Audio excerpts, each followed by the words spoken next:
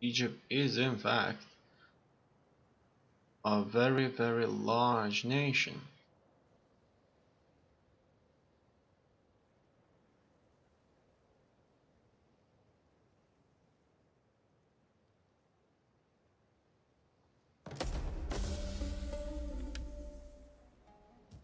Research has been completed. Then I'll just go this path instead. Ready for battle. Ready for orders. Now this army Getting on our way. can finally reach its destination and all the other armies can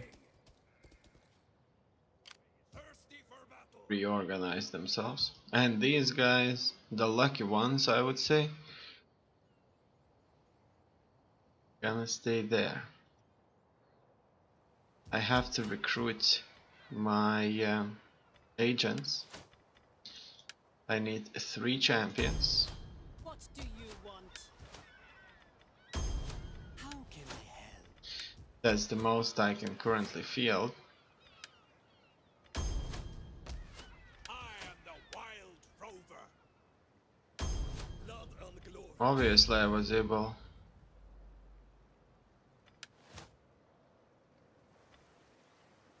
to recruit okay one extra spy alright it's all fine For the tribe. Ready for. Now these guys can go home. We don't need any more of their services. And the next turn Thirsty for battle. For the tribe. we will be recruiting Yes. Another full army of the best infantry that's going to stay and defend the west eastern front. A front that faces Roman Empire. And I'll probably create two of these. One in Massalia. Just figure out it would be just a little bit safer.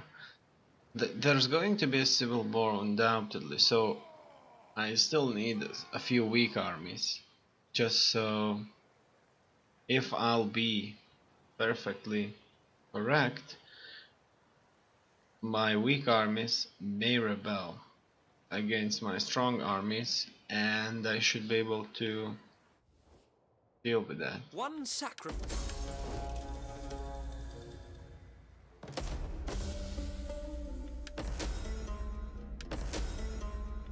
Stop the adoption. Ready for orders. It's it's done. Now piracy. What is this?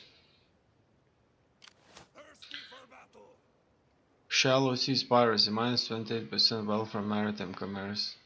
Neighbor, okay. There's piracy happening. I didn't know that. We must rest a while. Double time. Hard on the oars. Ready for orders. Okay. It seems that the, these onagers Thirsty for battle. did not make them. Okay. Our course is barred. Wow. Uh, some of my units are suffering attrition. More What? backbone. Yes. I am the destroyer of your Unfortunately for me.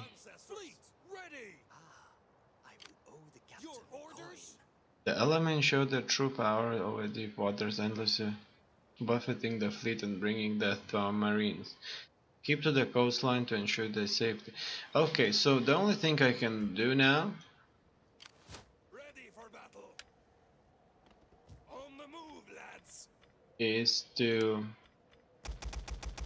Come, fight for us, lads. For the tribe. Get to the shores as quickly as possible. And the only shores I can reach quickly were the ones that they took recently, which is from Lepsis. From Lepsis, I should probably are going to march just east, most likely bringing down everything they have because Egypt they just they just in, started war against Syracuse and they spread west, truly heavy into the west. They were, and I land there. This will make Syracuse a little bit weaker, not much. I'm going to raise a force, which is a fleet, For the tribe. And um, I'm going to build We need good, strong men. just a few troops. For the tribe. And I'll just see If that- brings my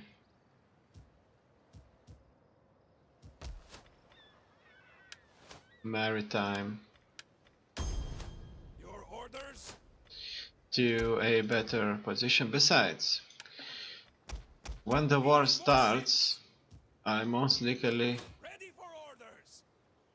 will want to have a these coastal cities protected and because I have the money to do so it's fine I can build fleets finally they reached northern frontier. It's safe. I'm sure Serbia would never take the city. They would probably need to combine their entire might, siege it, attack, and maybe then they would be able to wipe it out.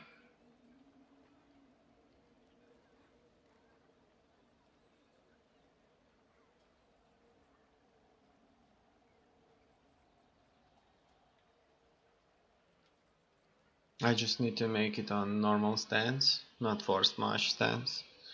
Because unfortunately, Will you not give up?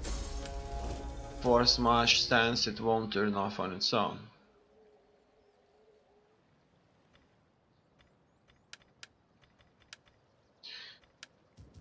Ready for orders. We built so many and uh, Yes. They were kind of unable to respond. Okay, all the generals are being used up. Most of the generals though. This was just this one was just fine. And all the coastal cities in this area have been perfectly Steady as we go. Dealt with. Stopping for now. For the tribe. Okay. Hard on the oars. And these troops they will sail a very long time in here. So I just need to order them up to go there. Uh, strangely but unfortunately this sea travel it won't be that fast unfortunately. It could be a lot faster, Fleet ready. Locked. We cannot pass. but it won't be.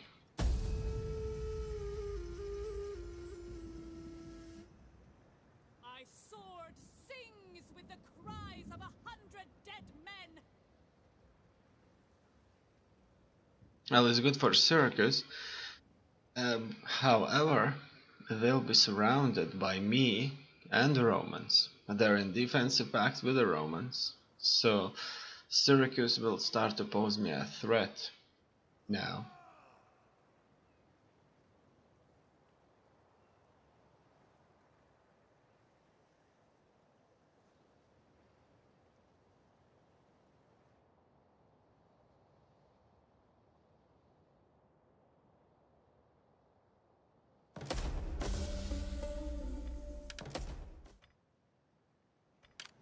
Yes. Promotion secured and increase in rank. Okay. Things seem to go according to plan.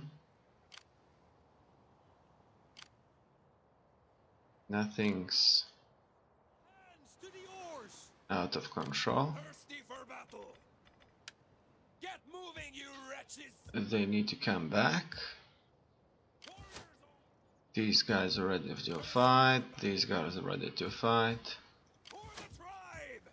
They are recruiting. I'm going to place these troops into the cities to garrison. So for example here we have 8 units in the garrison and